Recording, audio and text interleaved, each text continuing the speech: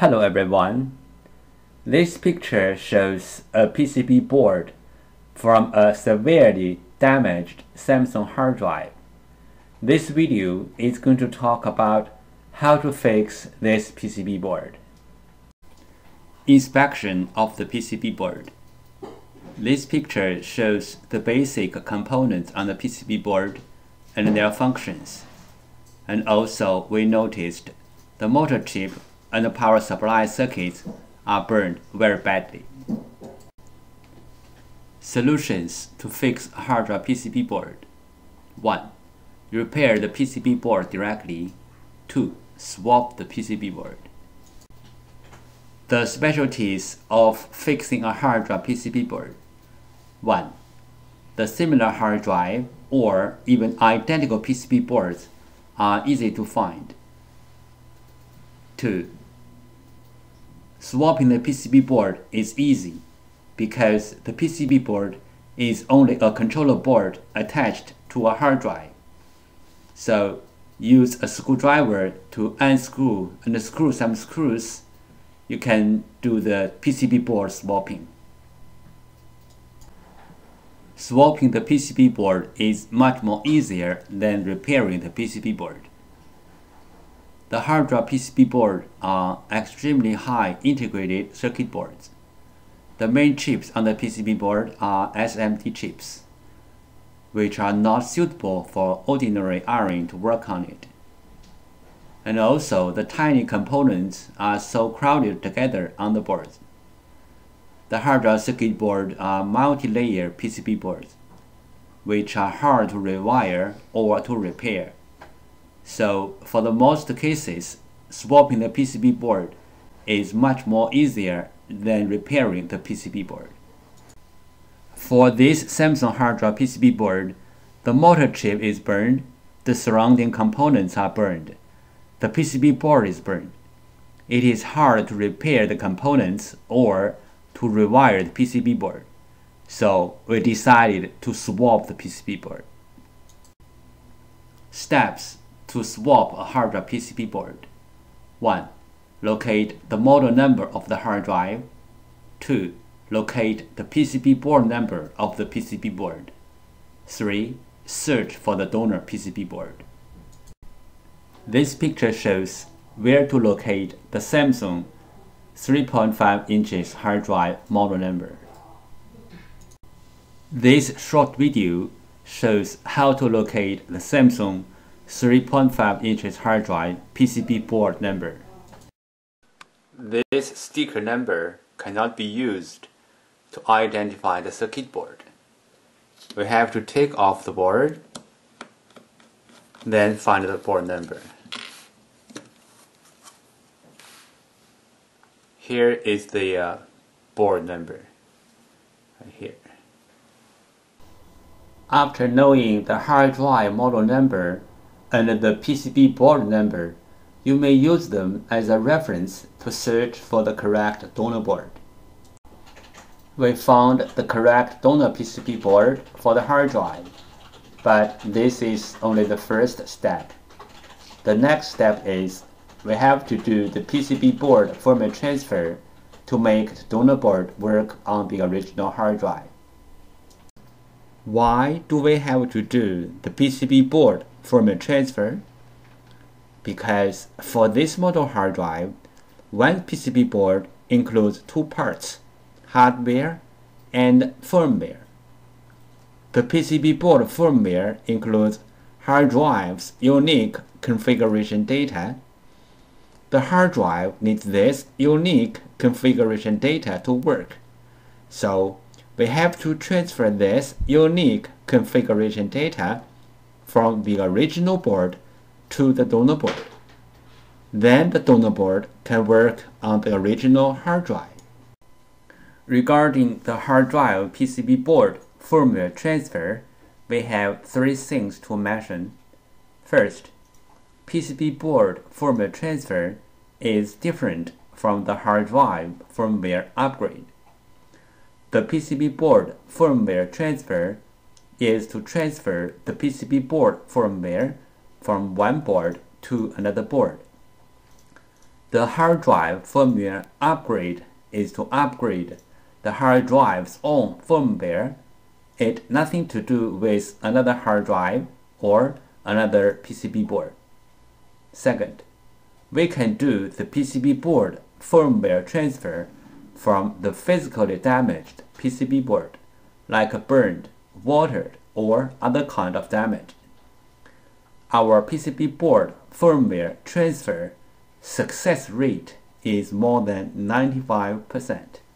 Third, we do the PCB board firmware transfer for our clients for free.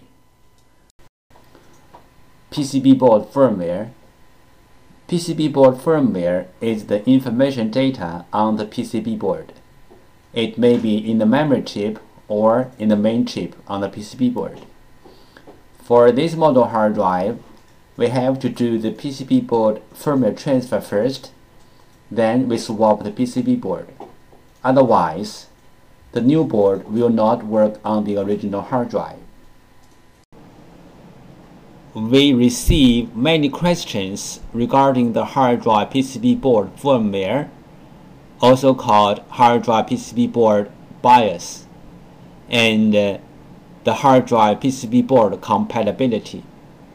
So let's talk a little bit more about this in general. Some PCB boards BIOS are in the independent memory chip, like the first picture shows. Some PCB boards BIOS are integrated into the main IC, like the second picture shows. Most of the modern hard drive PCB boards need to do the BIOS transfer before swapping the PCB board. Even the donor boards are identical with the original boards in hardware, we have to transfer the BIOS from the original board to the donor board. Then the donor board can work on the original hard drive. The third picture shows some of these PCB boards. But there are some hard drive PCB boards do not need the BIOS transfer as long as the donor boards are identical with the original boards. You can swap the boards directly. The fourth picture shows some of these kind of boards.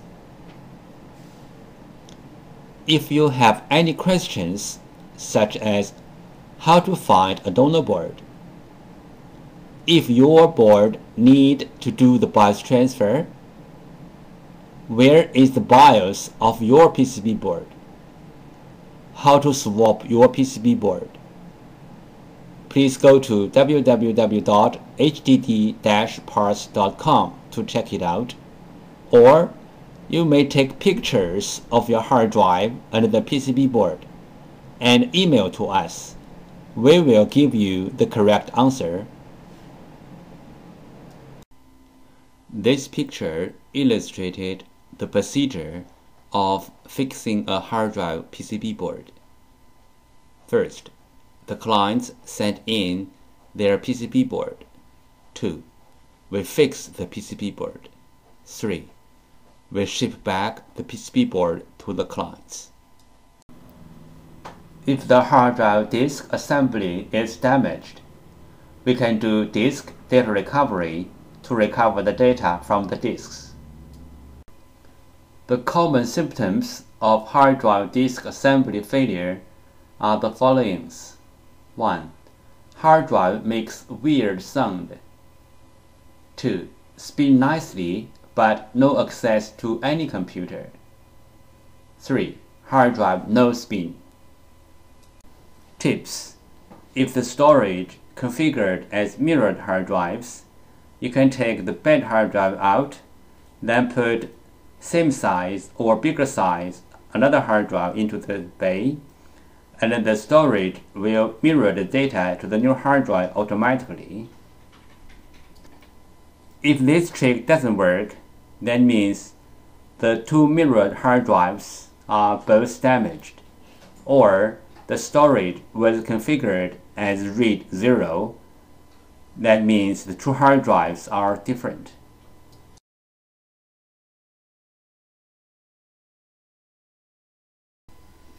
Overheat is a common hard drive problem. Cooling down a hard drive is always a good idea. We prefer to take the problem hard drive out from the enclosure or from the computer, and also let the PCB board facing the fan, because it is the PCB board who generates the heat to the hard drive. There are some simple ways to recover data from a hard drive. One of them is try to read the hard drive by different devices, like different external hard drive adapters, computers, or enclosures. Because different devices use different way to read a hard drive. Sometimes this trick works. Another way is swapping the hardware PCB board. Swapping the hardware PCB board can fix the problem caused by the PCB board. There is a cost in swapping the PCB board, but it is way cheaper than sending the hard drive to a data recovery firm. This picture shows the procedure how we do data recovery for our clients. First, the client send their hard drive to us. Second, we do data recovery. Third, we ship back the data to our clients.